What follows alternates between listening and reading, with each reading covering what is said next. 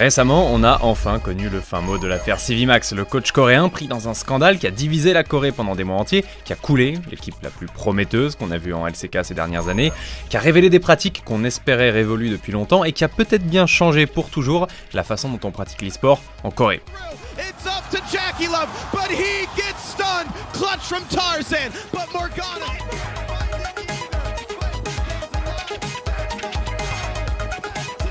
Il y a deux ans, la scène coréenne a été surprise par la montée en puissance d'une équipe que personne n'attendait, Griffin. It was the perfect game from Griffin though. The Griffin hype train is back leaving the station. They did it with style, they did it with panache. Un beau jour de 2018, ils ont débarqué en division 2, ils y ont massacré la concurrence et ils se sont immédiatement qualifiés pour les LCK, la première division coréenne. Gets another one. The double comes in as Beyond respawns, but it's just to see the Nexus crumble. And Griffin have done it. The 3-1 victory comes through. They delay MVP's hopes of making it back into the LCK, but they themselves have qualified for the summer split. Welcome to the LCK. La différence de niveau entre la division 2 et la LCK est massive, mais ça n'a pas eu l'air de poser problème à Griffin.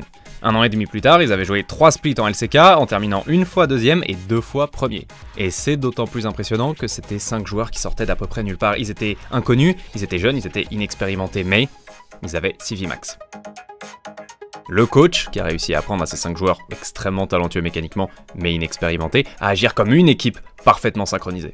À la fin de l'année 2019, la seule chose qui manque à Griffin, c'est une victoire en playoff. Parce qu'ils ont été très dominants pendant ces trois splits, les trois fois ils sont allés en finale des playoffs, mais ils n'ont pas été capables de gagner une seule de ces trois finales.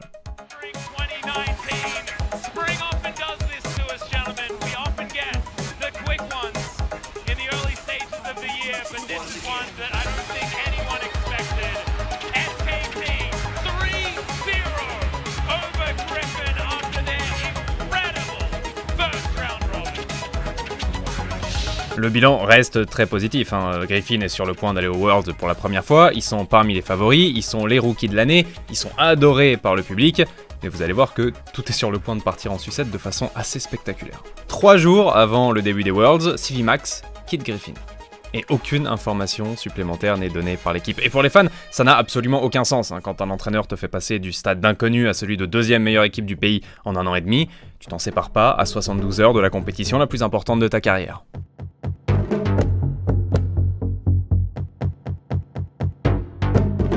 Alors que les Worlds commencent, Civimax ne semble pas être en froid avec Griffin, on le voit même sur son stream avec un jersey Griffin en train de regarder la compétition et de soutenir ses ex-joueurs. Et là, sans prévenir, Sword, le top laner de Griffin, donne une interview après un match au Worlds où il demande publiquement à Civimax d'arrêter de répandre des mensonges sur l'équipe. Ici, c'est important de préciser que plusieurs viewers coréens sont retournés voir les streams de Civimax à l'époque des Worlds et qu'ils n'ont pas trouvé un seul moment où le coach dit du mal de Griffin. Mais avec cette interview de Sword, tout explose. Enragé par la remarque de Sword, Civimax raconte publiquement qu'il n'est pas parti de Griffin, qu'on l'a viré, et que la personne qui l'a viré, c'est la deuxième personne la plus importante dans notre histoire, il s'appelle Cho, c'est le directeur de l'équipe League of Legends de Griffin, un type haut placé chez Griffin qui chapeaute tout ce qui a à voir avec l'équipe League of Legends. Civimax raconte que non seulement Cho l'a viré, mais qu'au moment de le virer, il lui a dit que pour lui, Civimax était un mauvais entraîneur, qu'il n'avait rien à voir avec le succès de l'équipe, qu'il avait juste été là par chance, que tout était dû au talent des joueurs, et même qu'il le tenait personnellement responsable pour les multiples défaites en playoff. Civimax explique ensuite que pour lui tout ça c'est qu'un prétexte et que la vraie raison pour laquelle il a été viré c'est parce qu'il a voulu faire remplacer le joueur chouchou favori de Cho. C'est Sword, le fameux top laner qui a mis le feu aux poudres avec son interview aux Worlds. Pour Civimax, Sword avait pas le niveau pour gagner les Worlds et il voulait le faire remplacer par un autre top laner de Griffin, Doran. Bon, que le directeur de l'équipe et l'entraîneur soient en désaccord à propos d'un joueur, et que du coup l'entraîneur se fasse virer de façon un peu expéditive, ça aurait pu faire légèrement scandale, mais sans plus. Sauf que Civimax, Max, euh, il a décidé de plus s'arrêter, il a décidé de tout déballer, et il va donner publiquement l'info qui va tuer Griffin. Cho aurait mis la pression à un jeune joueur qui s'appelle Canavi pour qu'il signe un contrat. Un contrat qui dit notamment que Griffin peut le virer à n'importe quel moment et que s'ils le font, Canavi n'a pas le droit de jouer pour aucune autre équipe pendant un an. Un contrat qui dit aussi que Griffin peut le prêter à une autre équipe sans lui demander son avis, et que le temps qu'il passe dans cette autre équipe ne compte pas pour son contrat avec Griffin. Donc s'il est encore lié à Griffin pendant un an et qu'on le prête pendant 6 mois en Chine, quand il revient, il doit toujours un an à Griffin. En simple, un contrat extrêmement abusif qui dit que Griffin peuvent faire ce qu'ils veulent avec la carrière de Canavi, ad vitam aeternam. Un contrat qui serait sans aucun doute illégal si on le mettait devant un juge, mais un jeune joueur mineur, naïf et voulant se faire une place dans le métier comme Canavi va certainement pas traîner une équipe comme Griffin devant un juge. Et ça, les équipes le savent très bien. Quand tout ça arrive sur la place publique, Cho se décide à répondre, mais il ne répond pas en niant l'existence du contrat de Canavi, il répond en attaquant directement Civimax. Et là, au lieu d'apprendre des trucs sur Cho, on commence à apprendre des choses sur Civimax, qui apparemment est un coach très dur avec ses joueurs, capable de les insulter, capable de les attraper par le col, de les secouer ou même de leur lancer des objets à la figure lorsqu'ils performent mal en entraînement ou en match. Trois joueurs de Griffin, Sword, Tarzan et Rather, confirment que ça se passe vraiment comme ça à l'intérieur de la gaming house, et Sword va même jusqu'à décrire le coaching style de Civimax comme du harcèlement physique et moral. Entre les accusations de maltraitance des joueurs et les accusations de contrats illégaux, euh, la branche coréenne de Riot est obligée d'intervenir et lorsqu'elle intervient, elle fait pas dans la dentelle. Civimax, tout comme Cho, sont banni de tout événement Riot. Et dans un écosystème comme celui de League of Legends, où Riot chapeaute toutes les compétitions importantes, ça veut dire que leur carrière à tous les deux sont terminées. L'affaire aurait pu tout simplement s'arrêter là. Mais ça n'a pas été le cas du tout, parce que le public coréen va commencer à apporter assez majoritairement son soutien à Civimax, et ce pour plusieurs raisons. Tout d'abord, parce que la décision de Riot est arrivée très très vite et que pour beaucoup de gens, l'enquête a été expéditive et bâclée.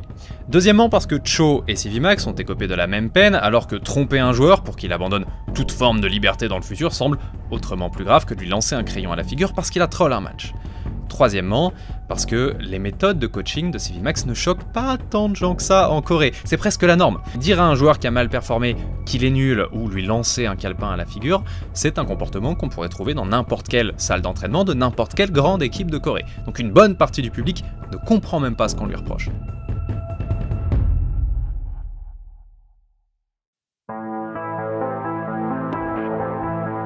Réalisez que pendant que tout ça se passe, les pauvres joueurs de Griffin ils sont toujours au Worlds, et ils doivent gérer la pression de leur premier Worlds, et la pression de savoir que leur nation se déchire autour de leur équipe, et quand je dis que la nation se déchire, j'exagère pas, puisque l'affaire commence à faire tellement de bruit dans les médias et sur les forums que plusieurs hommes politiques coréens vont s'en mêler. Un sénateur en particulier, le sénateur Ha, se saisit de l'affaire et va très fortement se positionner contre Riot ou tout du moins contre sa branche coréenne. Pour lui, Riot Corée est corrompu, n'agit que dans l'intérêt des équipes et des sponsors qui ramènent de l'argent dans la ligue, et pour lui, si Civimax a pris une suspension indéfinie, c'est pas à cause de son coaching style, mais c'est parce qu'il a exposé au grand jour le genre de contrat qu'on oblige des joueurs à signer, et c'est évidemment très mauvais pour l'image de la LCK.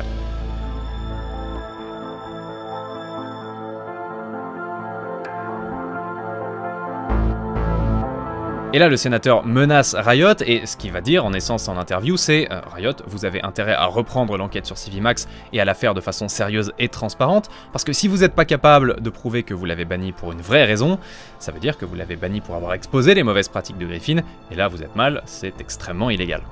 Et il redouble même sa menace en ajoutant, encore une fois en interview, que si la nouvelle enquête de Civimax n'est pas satisfaisante, il va lui-même demander une enquête sur Riot Corée.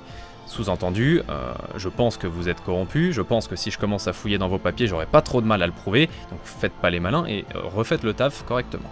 Là-dessus, Riot Corée décide que c'est le moment de filer doux, ils annoncent l'ouverture d'une commission d'enquête qui doit faire toute la lumière sur l'affaire CVMAX, et en attendant la décision de la commission, la sanction de CVMAX est levée. Il peut de nouveau coacher, et il est d'ailleurs très vite recruté par une autre équipe de LCK, DragonX.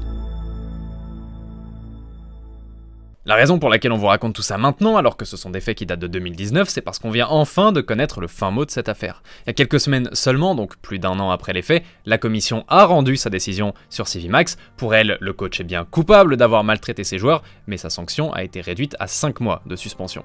À nouveau, quelques voix se sont élevées pour dire que c'est la norme en Corée et que si c'est un véritable motif de suspension, alors il faudrait suspendre 90% des coachs de la LCK. Mais euh, le scandale n'est pas reparti de plus belle, et dans l'ensemble, Civimax se sort plutôt bien de cette affaire. Il a eu une très bonne saison 2020 avec DragonX, il pourra reprendre le coaching avec eux dès que sa sanction sera levée, et il y a retrouvé deux anciens joueurs de Griffin avec lesquels il s'est toujours très bien entendu, Chovy, euh, l'un des rares titulaires de Griffin à ne s'être jamais plaint de Civimax, et Doran, le fameux top laner qu'il voulait faire jouer à la place de Sword.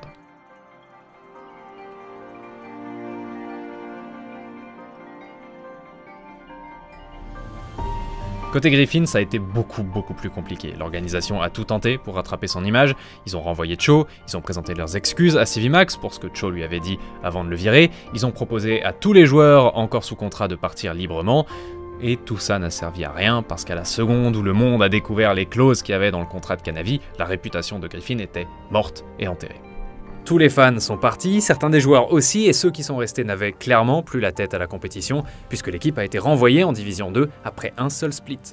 Après cette relégation, tous les joueurs de la line-up Miracle sont partis, sauf Sword, fidèle jusqu'au bout. L'équipe a vivoté pendant un an en Division 2 et ça nous amène à maintenant, début 2021, où l'on vient d'apprendre il y a quelques jours que Griffin mettait définitivement la clé sous la porte.